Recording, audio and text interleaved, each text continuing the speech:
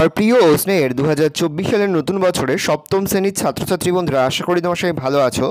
আজ আমরা যে বিষয়টি নিয়ে আলোচনা করব, সপ্তম শ্রেণির সেকেন্ড সামেটিভ অর্থাৎ দ্বিতীয় পর্যায়ক্রমিক মূল্যায়নের সংস্কৃতের কোশ্চেন পেপার নিয়ে। দেখো সরাসরি স্নেহ কিন্তু আমরা সপ্তম শ্রেণির সেকেন্ড সামেটিভ অর্থাৎ দ্বিতীয় পর্যায়ক্রমিক মূল্যায়নের সংস্কৃতের কোশ্চেন পেপার দেখতে পাচ্ছ। ফুল মার্কস তোমাদের রয়েছে পঁচিশ আর সময় তোমাদের রয়েছে পঞ্চাশ মিনিট।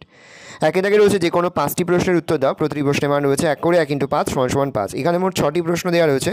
তার মধ্যে থেকে যে কোনো পাঁচটি প্রশ্ন তোমাদের উত্তর করতে হবে। দুই থেকে রয়েছে যে কোনো পাঁচটি প্রশ্নের উত্তর দাও, প্রশ্নের মান রয়েছে দুই করে দুই গুণ পাঁচ সমান সমান দশ। এখানে মোট ছটি প্রশ্ন দেওয়া রয়েছে, তার মধ্যে থেকে যে কোনো পাঁচটি প্রশ্ন তোমাদের উত্তর করতে হবে। ভালো করে তোমরা প্রশ্নগুলো দেখে নাও।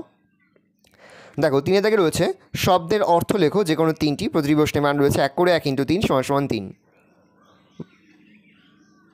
পরে রয়েছে, শব্দরূপ লেখো চারটি, প্রতিটি প্রশ্নের মান এক করে এক ইন্টু চার সমান সমান চার।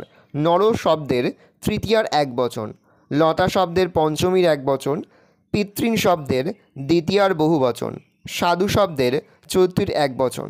পাঁচে থাকে রয়েছে ধাতুরূপ লেখো প্রশ্নের মান এক করে এক ইন্টু তিন সমান সমান তিন। গম ধাতুর লট মধ্যম পুরুষের এক বচন, পট ধাতুর লট উত্তম পুরুষের বহু বচন, বদ ধাতুর লট প্রথম পুরুষের বহু বচন।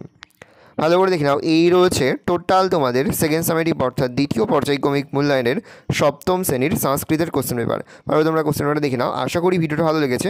ভিডিওটা ভালো লাগলে ভিডিও লাইক করতে একদমই ভুলবে না। আর আমার চ্যানেল নতুন হওয়া লাল করে সাবস্ক্রাইব প্রেস করে পাশে বেল আইকন প্রেস করো যখন নতুন কোনো ভিডিও আপলোড করি। সবার ফার্স্ট নোটিফিকেশন তোমরা পেয়ে যাও। আর এই ভিডিওটি তোমার বন্ধু বান্ধবী আত্মীয় স্বজন সবার মধ্যে কিন্তু অনেক অনেক শেয়ার করে দাও। যারা এবছর সপ্তম শ্রেণীতে পড়ছে। আমরা কিন্তু ইতিমধ্যে সপ্তম শ্রেণির প্রতি বিষয়ে সিলেবাস প্রশ্নকার এবং নমুনা প্রশ্নপত্র কিন্তু আপলোড করে দিয়েছি তোমাদের এখনও পর্যন্ত। সেই ভিডিওগুলো না দেখে থাকো, ভিডিওগুলো কিন্তু তাড়াতাড়ি দেখে নাও। একেবারে ভিডিও শেষে স্ক্রিনে তোমরা একটা প্লেলিস্ট দেখতে পারবে তারপরে ক্লিক করলেই সমস্ত ভিডিওগুলো কিন্তু তোমরা পর পর দেখে নিতে পারবে।